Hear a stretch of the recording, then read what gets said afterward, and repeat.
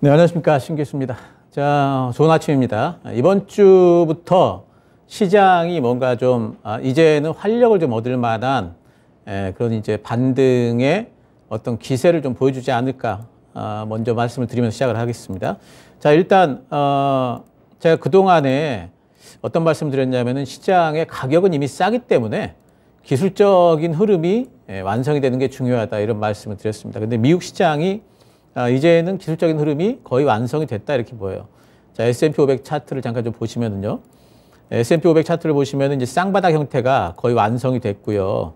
에, 그리고 에, 물론 뭐 지난밤에 금요일 날 살짝 뭐 하락은 했습니다. 0.08%. 한 이 하락이라기보다는 하락이 중요한 게 아니고 지금 이제 양봉이 나왔다는 거. 양봉이 지금 연 5일째 지금 양봉이 나오고 있고요. 아, 이 얘기는 뭐냐면 아래쪽에서 떠받치는 에, 장중에 떠받치는 매수세가 예, 계속 이어지고 있다. 아, 이렇게 봐야 되겠죠.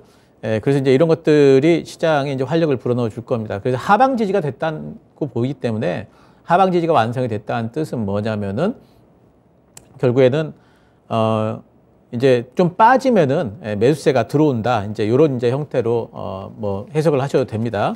그래서 이제는 시장에서 어느 정도는 어그 매수를 이제 해도 된다 이렇게 보이고요. 물론 이제 이번 주에 CPI도 있고 또 이제 금융통화위원회도 있고 국내 이런 것들이 있지만은 CPI 같은 경우에는 아, 제가 이제 계속 말씀드렸습니다만은 이제는 시장의 관심 자체가 인플레이션보다는 경기로 가 있어요. 그래서 CPI 같은 인플레이션 지수에 대한 영향력 자체가 이제는 많이 줄었고 또 한 가지는 이번에 CPI가 발표가 됐는데 물론 CPI는 좀 올라갈 걸로 봐요. 5월 달보다 6월 CPI가 좀더 올라갈 걸로 보지만 근원 CPI, 에너지와 곡물을 뺀 근원 CPI는 오히려 하락할 수가 있어요. 이러면 이제 정말로 인플레이 정점론이 이제 부각이 되게 되면서 어 이제 거기에서 안도성 반등이 더 나올 수가 있다 이렇게 보셔도 되고요. 금통위는 우리 시장은 사실 우리나라 금통위의 금리 인상 이런 걸로 움직이지 않습니다. 예, 미국 금리가 중요하기 때문에 그래서 그런 영향력은 별로다.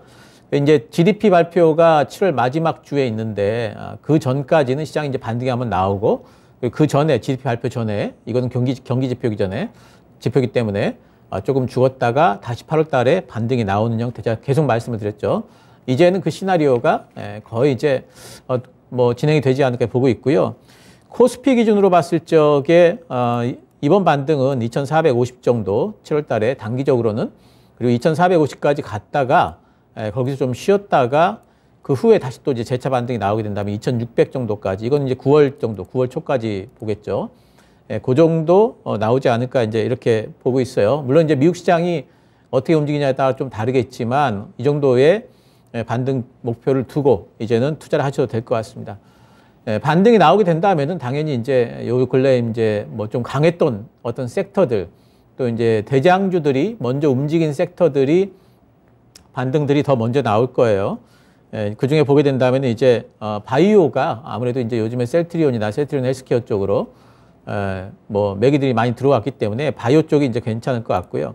에, 예, 또 이제 요즘에 보게 되면은 어, 삼성전자 같은 경우에 상당히 좀 에, 어, 잠재 저기 잠정 실적 발표 이후에 상당히 좀 반전의 매력을 준 것 같아요. 바닥은 잡은 듯한 느낌이 들기 때문에 에, 이렇게 대장주가 바닥 잡은 느낌 들면은 이제는 소부장 종목들 반도체 이제 움직일 걸로 보고 있고요.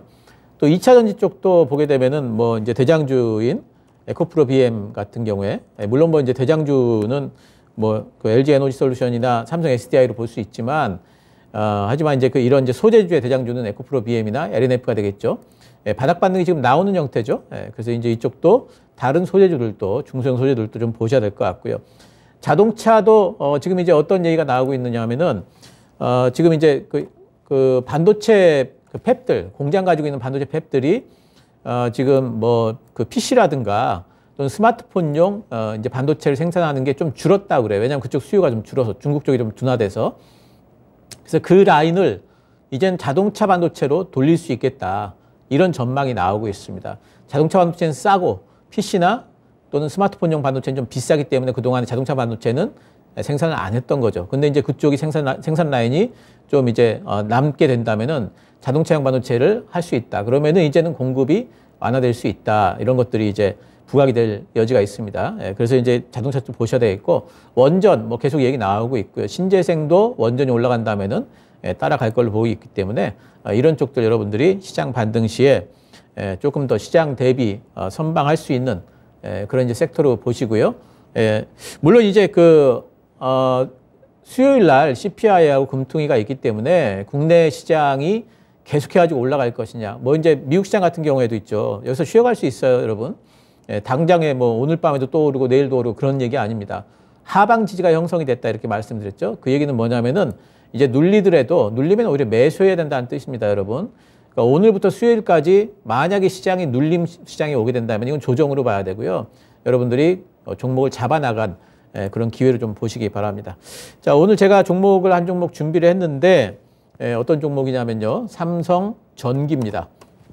그동안에 여러분들이 아마 삼성 전기는 너무 주가가 지지부진했기 때문에 안 쳐다보고 계셨을 만한 예, 이제 그런 종목이죠. 근데 내용은 뭐 이 회사의 내용이야. 아, 뭐 굉장히 좀 견실하고요. 엄청나게 많이 빠졌습니다. 삼성전기는. 어, 2011년도, 2021년도 1월 달에 아, 고점을 찍고 그리고 나서 얼, 지금 저점까지 얼마가 빠졌느냐면은 거의 43%, 44%가 빠졌네요. 예, 그러니까 뭐 반토막 살짝 직전까지도 이제 빠졌다. 싸죠. 삼성전기의 어, 그 투자 포인트는 싸답니다. 예. 삼성전기는 2분기 때는 영업이익이 3,600억 정도 나올 걸로 보고 있고요. 이것은 분기 대비로는 좀 못한 거예요. 1분기 때보다 12%덜 나올 걸로 보고 있고 작년보다는 0.9% 정도 잘 나올 걸로 보고 있어요. 하지만 시장 기대치에는 부합 정도 예상이 되고요. 2분기 때 실적이 그렇게 썩 좋지 않습니다. 왜 그러냐면은 중국 때문에 그래요. 중국이 지금 락다운이 됐었고요.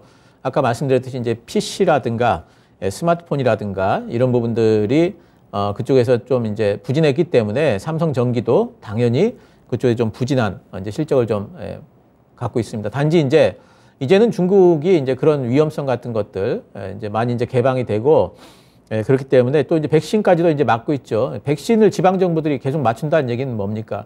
이제는 중국 정부도 어쩌면은 어, 완전 봉쇄보다는 백신을 통한 예, 이제 위드 코로나 정책을 시행할 가능성이 높아지고 있는 거죠. 그래서 이런 것들이 이제 하반기 때는 2분기가 이제 거의 실적 저점이 아니겠느냐 예상을 해볼 수가 있고요. 하반기에 대한 IT 수요도 어, 거의 정체될 걸로 지금 예상을 합니다. 특히 이제 스마트폰이라든가 어, 이런 쪽도 그렇게 막 엄청나게 올라갈 것 같지는 않지만 2분기보다는 올라갈 걸로 보고 있어요. 그리고 또 한 가지는 뭐냐면은 수요는 조금 정체가 되는데 환율 효과. 우리나라 지금 원, 원화가 너무 싸지기 때문에 어, 환율 효과가 좀 있고 또 이제 제품 믹스가 상당히 좀 개선이 됩니다. 이 얘기는 뭐냐면은 이제 삼성전기가 그동안에 스마트폰 쪽만 하다가 MLCC로 갔고 이번에는 뭘 합니까? 지금 FPCB 하고 있잖아요. 이런 것들이 실적을 지금 방어해주고 있습니다. 그 하반기에도 마찬가지고요. 지금 패키지 부분에 패키지 기판 FPCB 부분에 어, 영업이익 기여도가 작년에 15%였어요. 근데 지금 올해 같은 경우에 32%까지 두 배가 넘게 올라왔습니다.